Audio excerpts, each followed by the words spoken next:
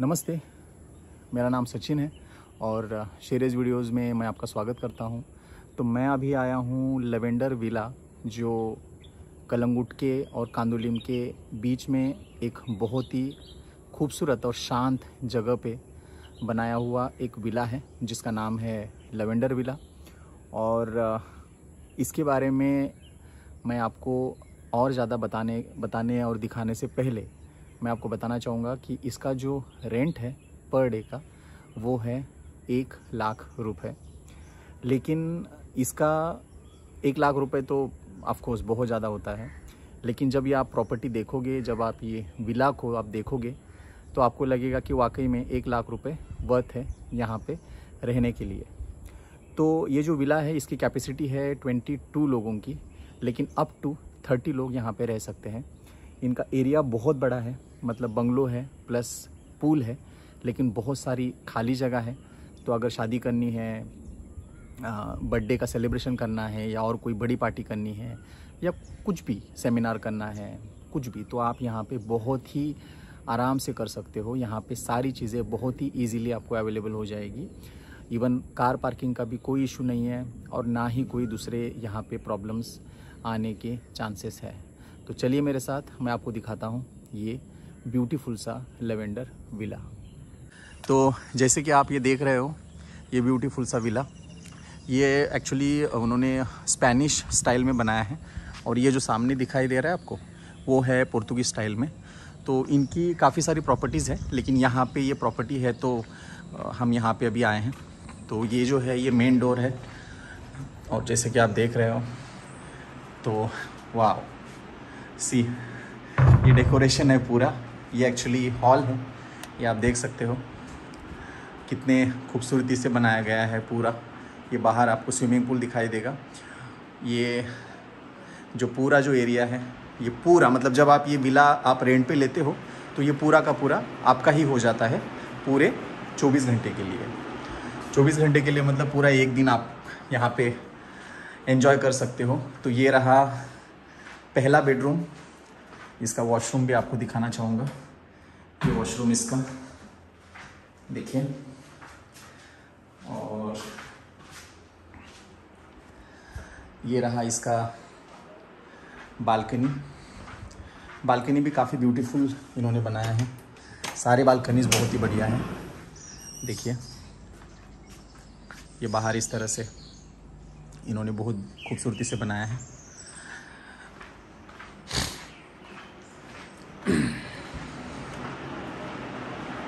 ये रहा पूल। ये मेरे फ्रेंड ऑलरेडी इसमें नहा रहे हैं, आप देख सकते हो। और ये रहा डाइनिंग टेबल और ये एक्चुअली ऊपर भी कुछ बेडरूम है, मैं आपको ज़रूर दिखाऊँगा। तो आप देख सकते हो, ये रहा दूसरा बेडरूम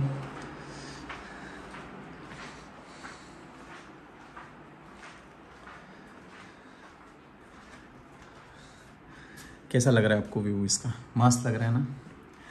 आप देख सकते हो। तो सारे जो बेडरूम हैं, वो बहुत ही बढ़िया तरीके से बनाए हैं और जब भी आप, मान लो आप यहाँ पे इस विला का जो इन्होंने, इनसे मैंने जब बात किया था तो ये सॉरी मैं उसके बारे में बताऊँगा, पहले आपको ही दिखाऊँगा। तो ये है किचन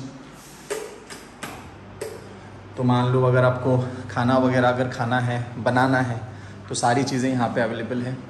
आप चाहे तो कुछ एक्स्ट्रा लेके भी आ सकते हो बनाने के लिए।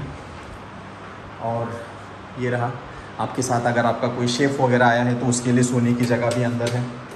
और, चलिए मैं आपको ऊपर लेके चलता हूँ।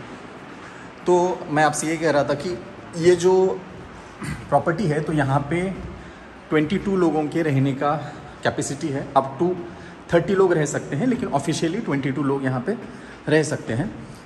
और 30 लोग भी आराम से रह सकते हैं, क्योंकि बहुत बड़ी प्रॉपर्टी है।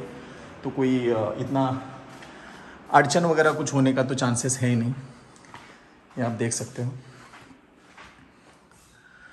तो मान लो अगर कोई बहुत बड़ा बर्थडे सेलिब्रेशन करना हो, जैसे डेस्टिनेशन वेडिंग होता है, वैसे आजकल डेस्टिनेशन बर्थडे भी होते हैं। डेस्टिनेशन सेलिब्रेशन भी होते हैं, बर्थडे पार्टीज़ होती है, काफ़ी सारी चीज़ें आजकल जहाँ पे हम लोग रहते हैं तो उससे दूर करने का आजकल काफ़ी ट्रेंड है।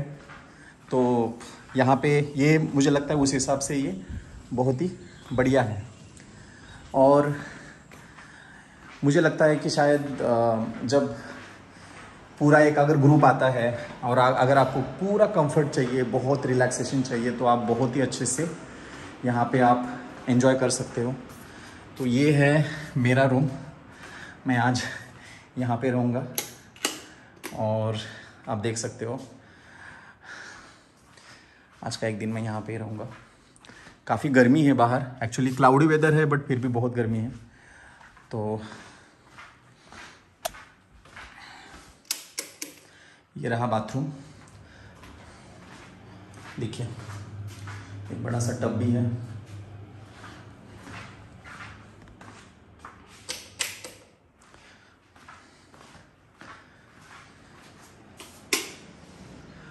और ये रहा खूबसूरत सा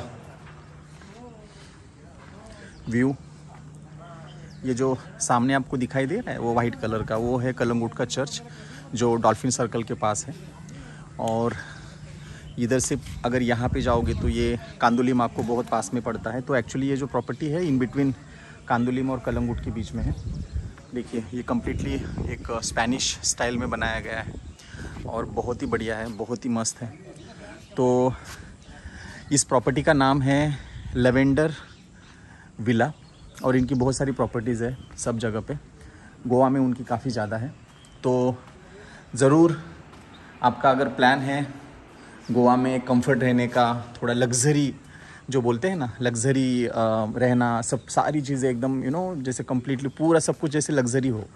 जैसे सेलिब्रिटीज़ होते हैं, बड़े रिच पीपल होते हैं, या फिर बड़े बड़े कॉरपोरेट वाले ऑफिसर्स होते हैं, या जो हाई लेवल के हाई पोस्ट के जो लोग होते हैं तो वो जिस तरह से अपना क्लासी लाइफ बिताते हैं तो उस तरह से मान लो अगर आप एक दो दिन के लिए आपको एंजॉय करना है अगर अफोर्ड नहीं कर पाते हैं तो जैसे अभी मैं भी बहुत ही नॉर्मल फैमिली से हूँ, मैं अफोर्ड नहीं कर सकता इतना ज़्यादा। इवन अगर दस लोग भी आएँगे तो भी मैं अफोर्ड नहीं कर सकता हूँ। लेकिन फिर भी मैंने सोचा कि चलो, एक बार कोशिश करते हैं, एक बार देखते हैं, क्या रहता है, कैसे फील होता है। तो मुझे बहुत बढ़िया लग रहा है। अभी और क्या होता है ना, जब इस तरह से ऐसी प्रॉपर्टीज़ में जब आप आते हो तो आपका बिल्कुल भी कहीं जाने का मन नहीं करता। ऐसा लगता है कि बस यहीं पे बैठे रहें, यहीं पे रहें। तो देखिए, ऊपर भी रूम है। और ये रूम है, ये रूम्स है नीचे रूम है। रूम सारे सेम हैं। मतलब रूम में ज़्यादा बदलाव नहीं है। बस व्यू का फ़र्क है। जैसे ये साइड में आप देख सकते हो, इधर ये माउंटेन का व्यू है और इधर जो है ये पूल और सामने पूरा कलंगुट का व्यू आपको दिखाई देगा। तो आप ज़रूर यहाँ पे आने का प्लान बनाइए। गोवा में जब भी आओगे एंजॉय कीजिए। तो मिलते हैं बाद में। Thank you